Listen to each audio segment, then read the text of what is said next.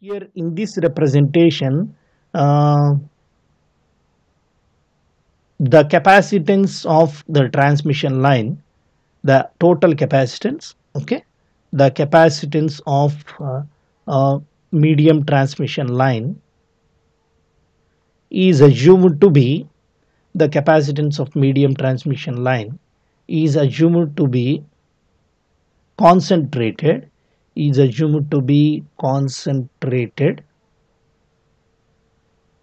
half at uh, the load side half at uh, the load side and uh, remaining half at the source side.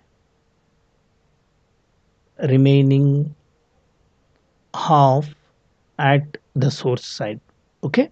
So out of the total capacitance if half of the capacitance is assumed to be concentrated at the source side and half of the capacitance is assumed to be uh, at, is assumed to be at the source side then we can call uh, the such type of uh, representation as a nominal pi representation. And uh, in between these two you have the total impedance.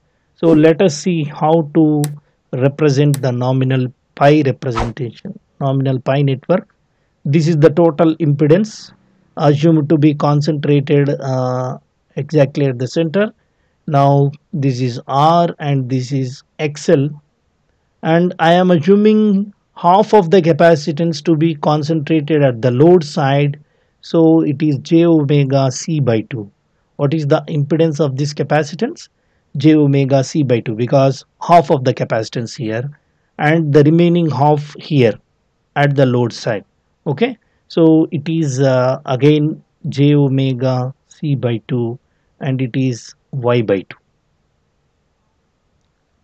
as this transmission line looks like uh, a pi okay? As this transmission line looks like a pi network okay? Pi network we call this as nominal pi representation generally. So what is this voltage? This voltage is the sending end voltage and this current is the sending end current. And what is this voltage? This voltage is the receiving end voltage and this current is the receiving end current. Okay? As this is sending end and receiving end. We got the currents and voltages like this. And mm, so this is actually per phase. What is this? This is per phase equivalent per phase equivalent impedance diagram. Per phase equivalent uh, impedance diagram for pi network for pi network. Per phase equivalent impedance diagram for pi network. Now um, how to derive what is the second thing in modeling? The first thing is to identify the phase equivalent impedance diagram. And the second thing is to extract or derive uh, the relations between the sending end terms and the receiving end terms. Is it right? Now um, let us uh, derive the relation between sending end terms and receiving end terms. How can i obtain the relations? Um, i am assuming this current uh, as I don't know this current I am assuming this as current IC2 and I am assuming this current as uh, IC1 and this voltage as uh, VC2 and uh, this voltage as VC1 and this current as IL IL right? Now um, here at the load side or if you observe um, at the load side at the load side if you observe the receiving end voltage is same as the voltage VC2 is it right?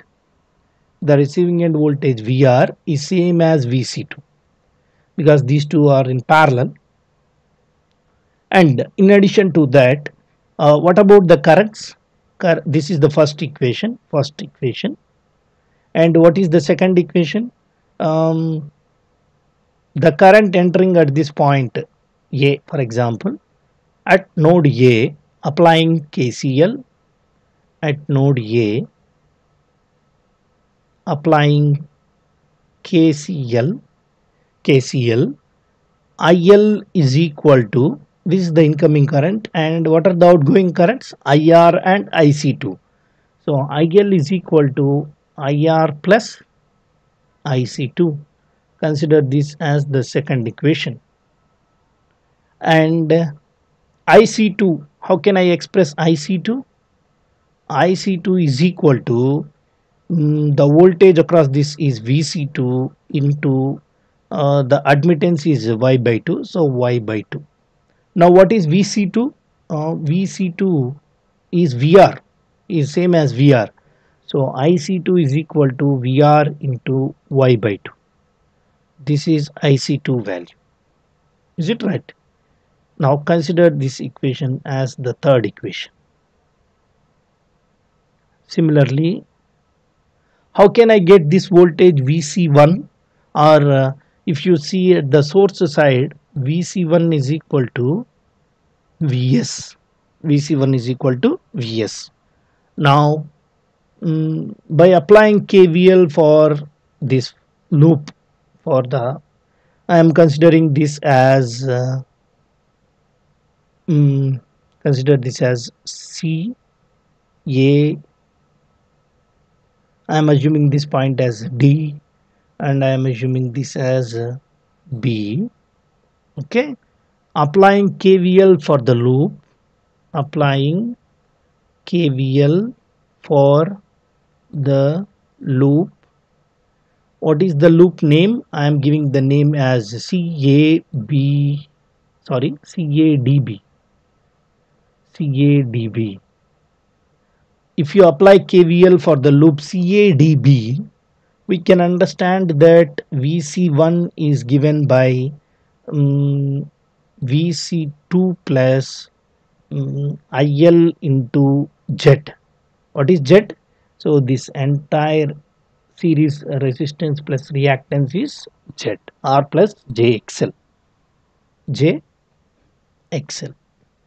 Now in place of VC1 what I can write Vs and in place of VC2 what I can write VR plus IL into Z.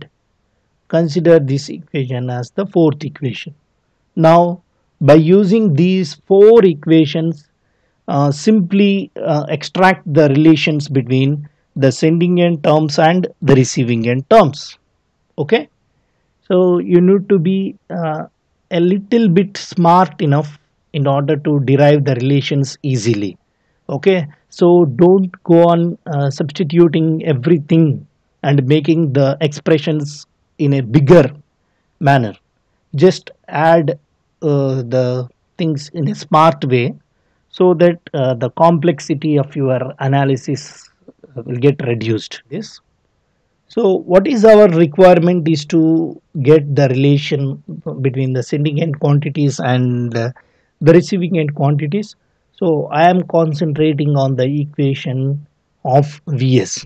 What is the equation of Vs we have in all the four equations? Uh, we have the fourth equation, right? In the fourth equation, we got Vs is equal to Vr plus Vr plus IL into z is it right now it is equal to vr plus what is il we got il is uh, ir plus ic2 from the second equation so from the second equation il is equal to ir plus ic2 into z and it is equal to vr plus ir into i want also IC2 in terms of uh, VR or IR. So IC2 is uh, nothing but VR into Y by 2 from third equation. So it is VR into Y by 2 into Z. Now see very simple because uh, the nominal T representation is uh, used in most of the cases when compared to nominal T network right because uh, the complexity in the calculations will be somewhat reduced right now here see if you observe um, vs is equal to I can take VR term separately. So VR plus if you multiply with Z you will get VR into YZ by 2 and if you multiply again with Z you will get IR into Z. IR into Z.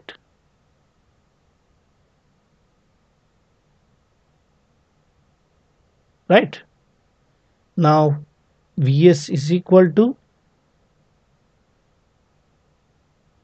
1 plus yz by 2 into Vr plus IR into Z.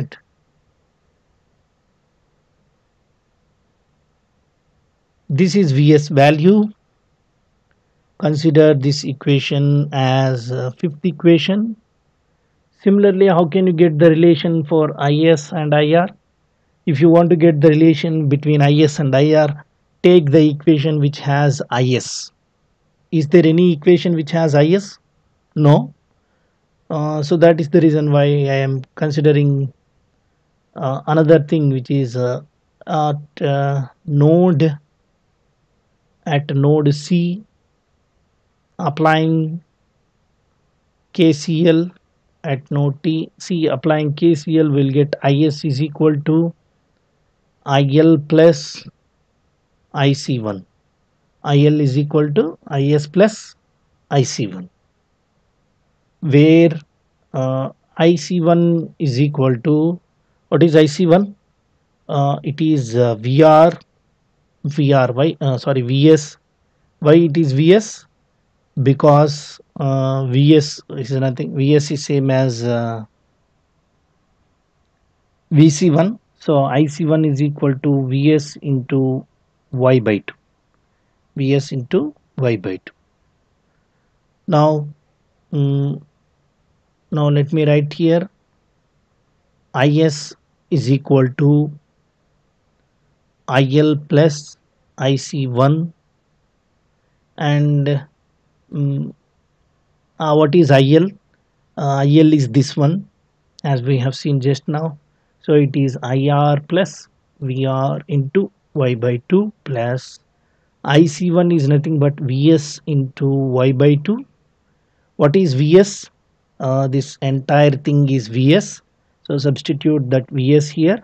So you will get IR plus VR into y by 2 plus substitute the entire Vs here. So VR plus VR yz by 2 plus IR z into y by 2. This is IS now is is equal to uh, write the vr terms separately. Vr into y by 2 next plus vr into y by 2 next vr into um, y square z by 4 writing ir terms separately. Now ir plus ir into yz by 2 now is is equal to by taking vr as common what you will get y by 2 plus y by 2 is y. So y plus y square z by 4 plus ir into 1 plus yz by 2 this is the sixth equation. Consider this as the sixth equation.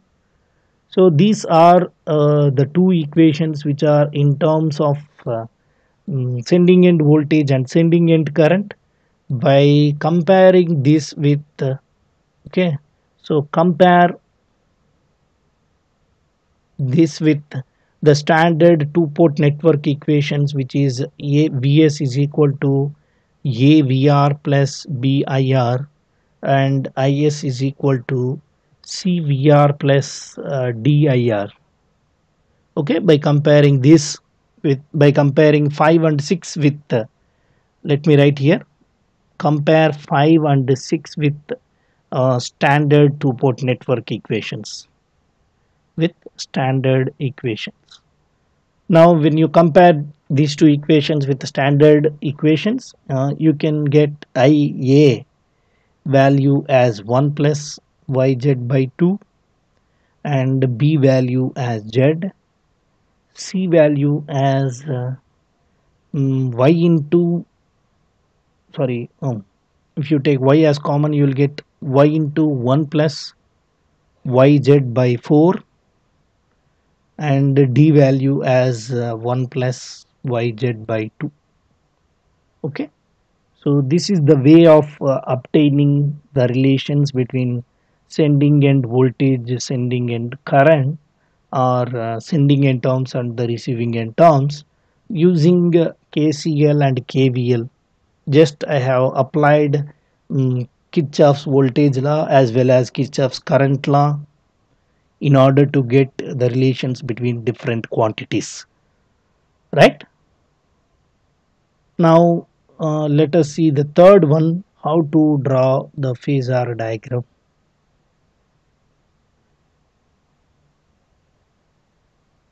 okay. So you have a series reactance in nominal pi which is uh, R plus uh, JXL. So this is series impedance. And here you have uh, a capacitive admittance uh, which is j omega c by 2 and here here another capacitive admittance which is j omega c by 2 and what is this voltage? This voltage is the receiving end voltage VR and what is this current this current is the uh, sorry this voltage is the sending end voltage Vs. So this is is and this is ir and this is il and this is ic2 and this is ic1 and the voltages are vc2 and vc1 here and here. Now uh, considering vr as the reference phasor so i am considering vr as the reference phasor okay let me reduce its uh, size. So I am considering VR as the reference phasor right? So this is VR now um, what is IC2 first of all I am coming from the receiving end side. IC2 is uh, um, VR into J y by 2 as we have J it indicates that there is a phase angle between uh, VR and IC2 as 90 degrees. And IC2 lags V sorry IC2 leads VR or VC2 by 90 degrees. So you can have IC2 here like this. So this is IC2 which is making an angle 90 degrees with VR and um, what is IL IL is the summation of IC2 and IR IC2 is already obtained and IR uh, as we are interested to find or to draw the phasor diagram for nominal pi network for lagging loads basically uh, you will have a current which is IR so this is IR making an angle phi R with respect to VR now what is IL IL is the summation of IC2 and IR in order to get the summation I need to take the resultant. So I am considering the resultant. So you will get one more current. What is this current? It is IL basically. Now uh, what is Vs Vs is nothing but IL into Z plus PR so VR is already completed. IL is already got so what is IL into R? IL into R is almost parallel. Okay. So let me draw a little bit clear.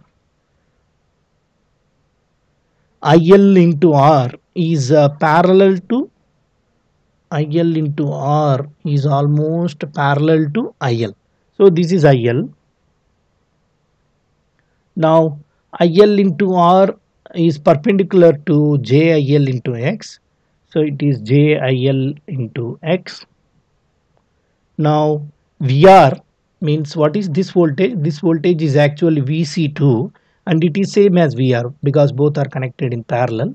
So VR plus IL into this drop will gives us VC1 vc1 is same as vs vc1 is same as vs so the summation of this voltage plus this drop gives you vs this voltage is vr and this entire thing is a drop.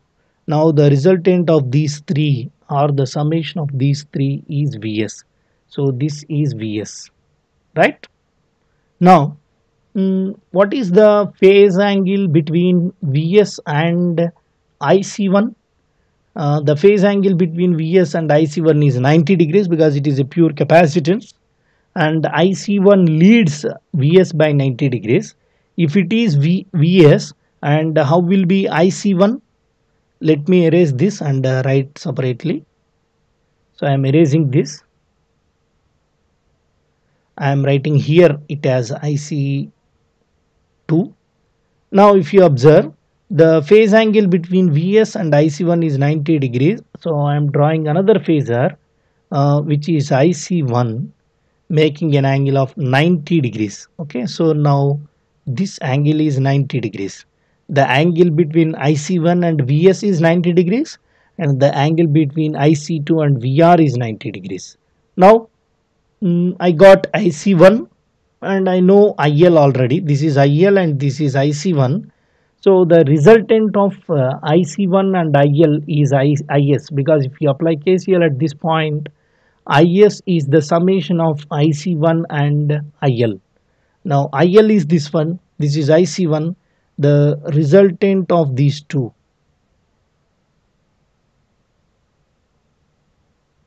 This is I yes.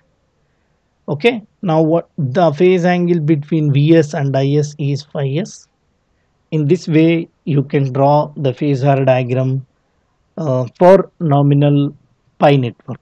Okay. When compared to nominal t network it is very simple to draw the phasor diagram for nominal pi network and uh, obtaining uh, the means uh, extracting the relations between the sending end and receiving end quantities is also simple okay?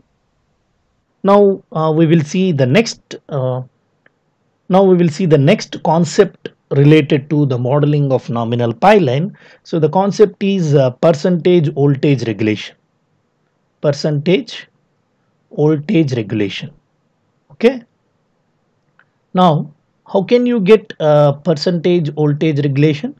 Just uh, I will write the mathematical formula uh, which can be applied for every transmission line. So percentage voltage regulation percentage voltage regulation is equal to uh, difference between no load receiving end voltage and the full load receiving end voltage um, so VR full load is nothing but full load receiving end voltage. VR no load is nothing but no load receiving end voltage. Okay. Uh, and uh, it is uh, taken as a percentage of full load receiving end voltage.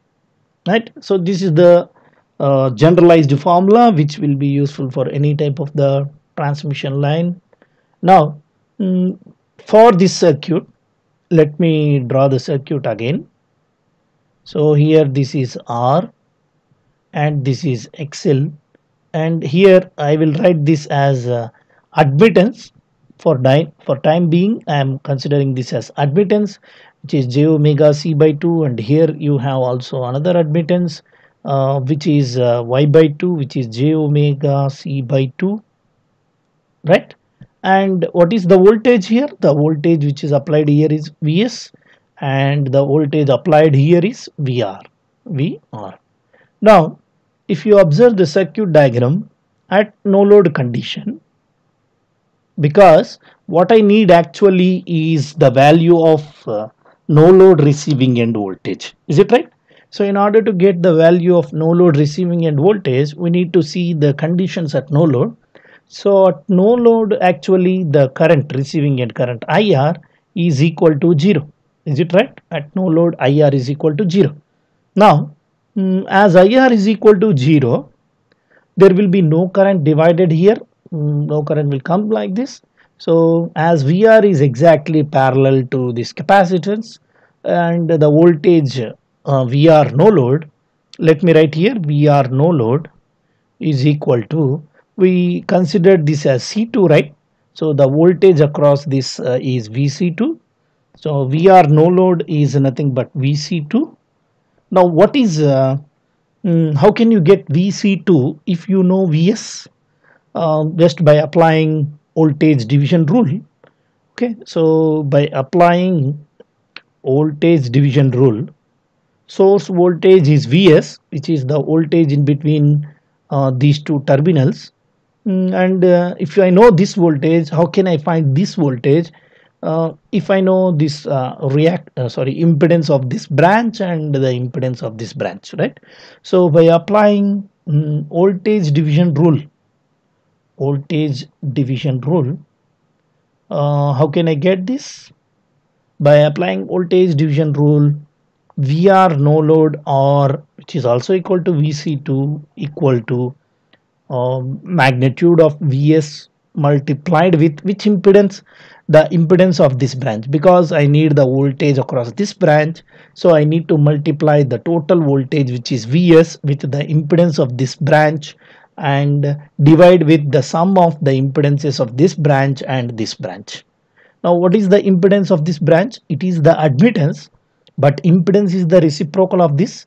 So what is the reciprocal of this uh, admittance? So 1 by mm, j omega c by 2 so it will be 2 by j omega c. Is it right?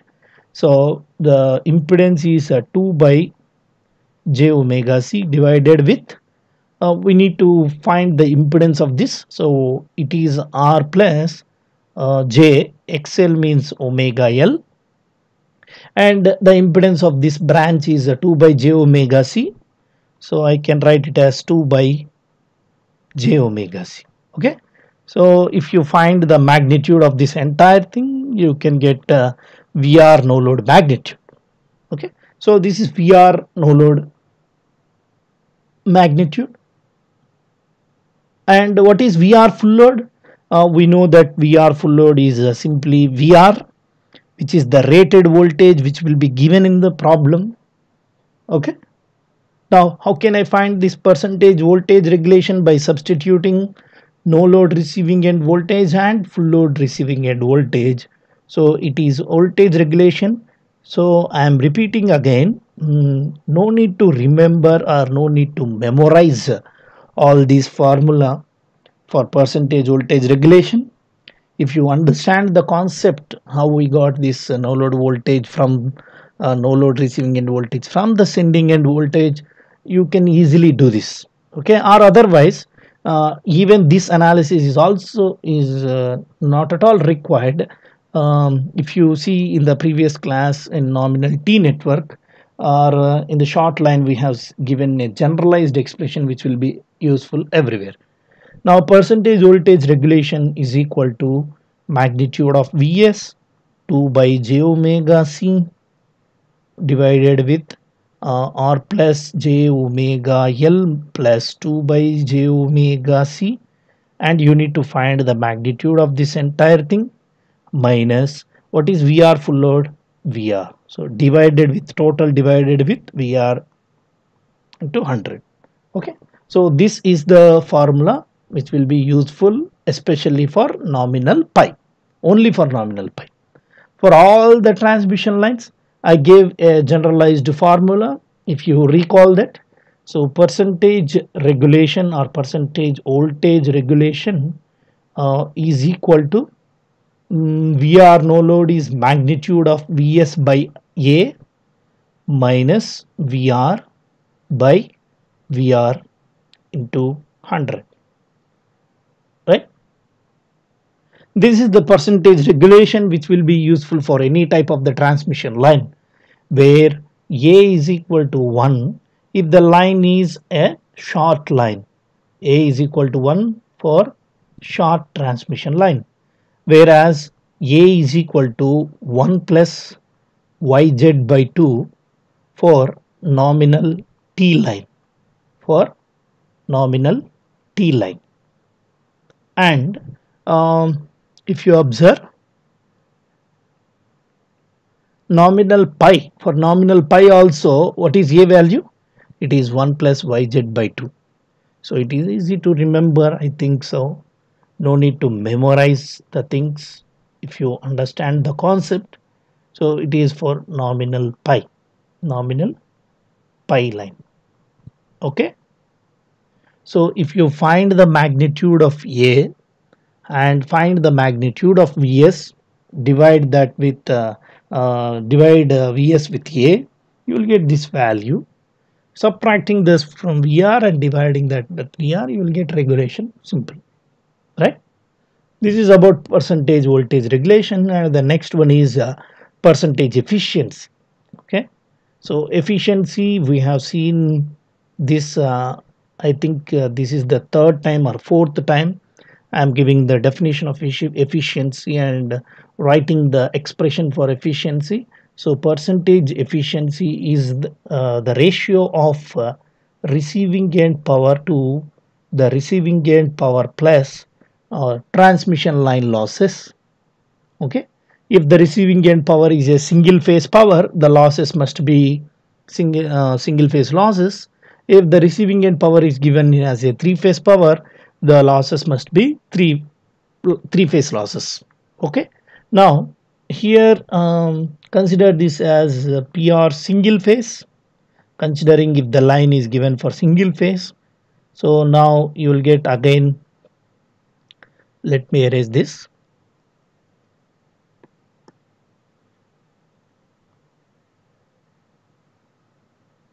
Sorry for the delay. Now let me erase this and uh, what you will get here? P R single phase power plus what are the losses?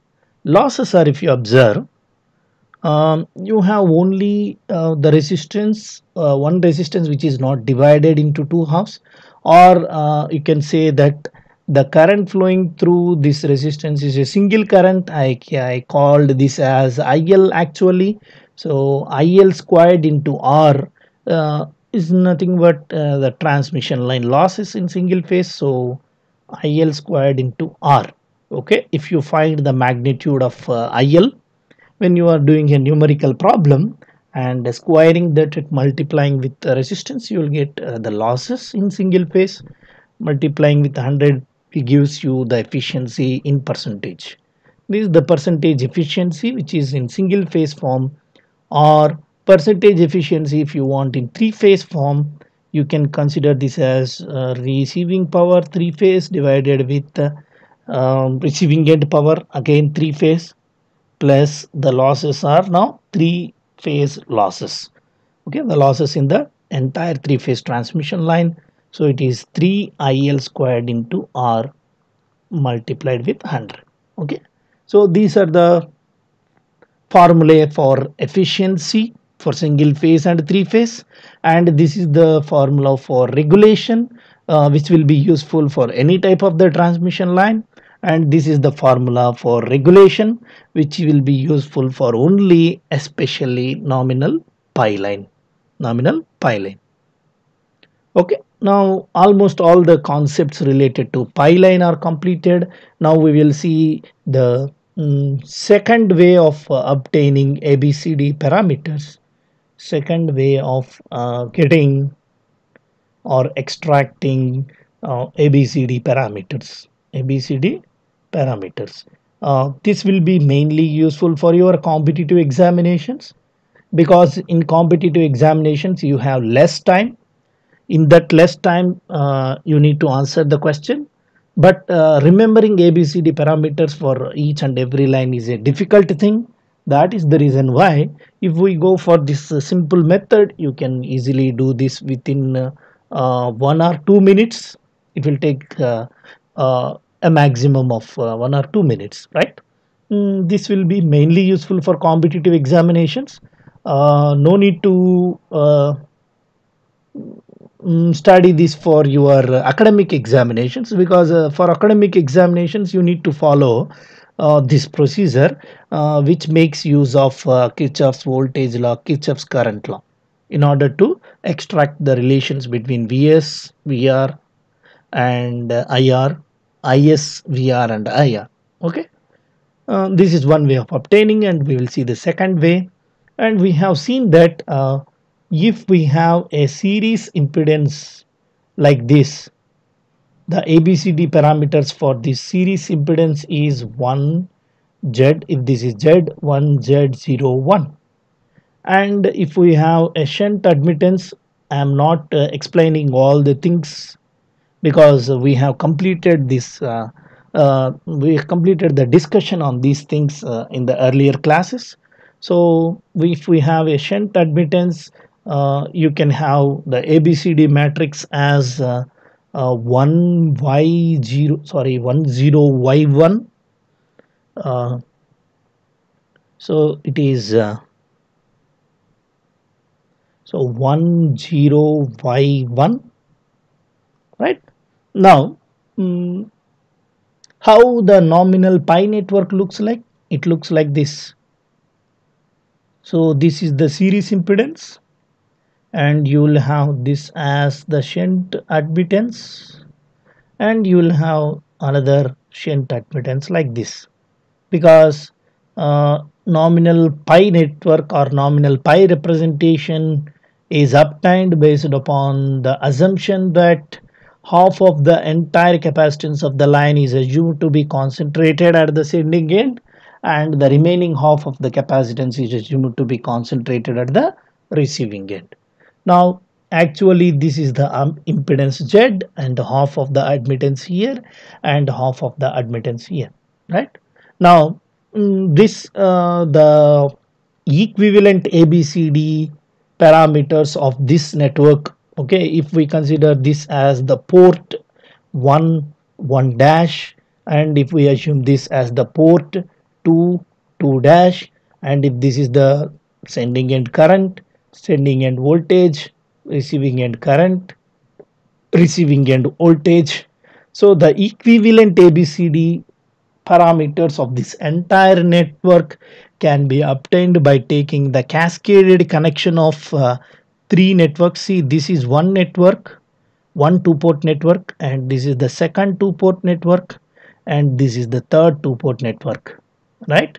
So the nominal p uh, sorry nominal pi nominal pi representation of uh, medium line looks like the cascaded connection of uh, three um, different networks and uh, the ABCD parameters of the first cascaded network is uh, uh, what are the ABCD parameters for this?